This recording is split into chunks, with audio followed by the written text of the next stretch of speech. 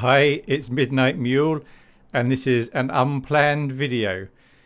Uh, I just thought I'd put it out there what it's like when something doesn't go right. As an Aspie, one of my coping strategies is to build in lots of contingency and fortunately most of the time it's not needed and sometimes even when you build it in it's not enough.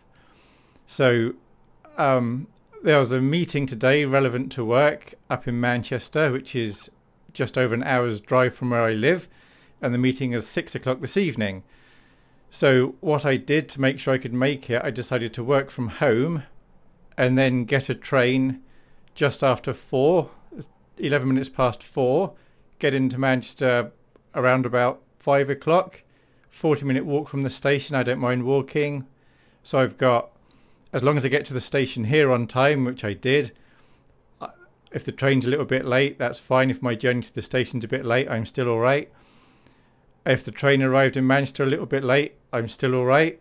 Uh, if I hurt my leg, I'd probably still get there on time. So lots of different reasonable contingency built in. Often people think I go over the top with these sort of things, but I I need to be able to be nice and calm and make sure everything's okay. So I got to the station, which was Crewe, that's the nearest large station. Straight line to Manchester Piccadilly, not a problem.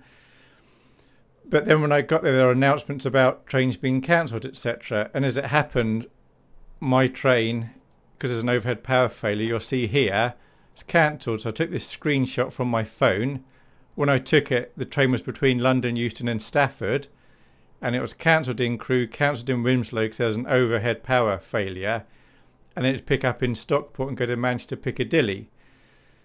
Now, of course, uh, the train company, they have contingency. So if I want to go to Manchester Piccadilly, I'd have to go down to Stoke, and then from Stoke I can get a train up to Manchester.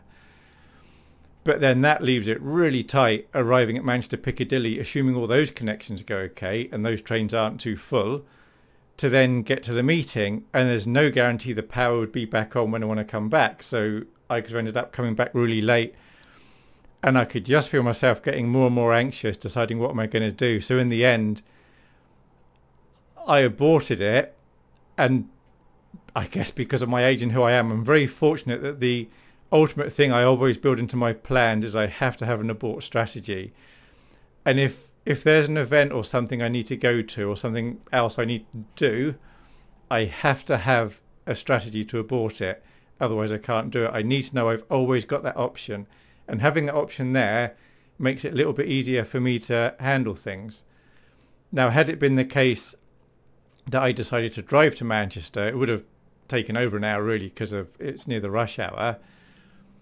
I would have built in probably more contingency and there'd have to be major things going wrong for me to not be able to make it. But I just fancied if I sit in a train, it should be relaxing enough. Oh, it was a first class ticket because I can't handle being around lots of people. But anyway, I just thought I'd put it out here so you can see what it's like when things go wrong.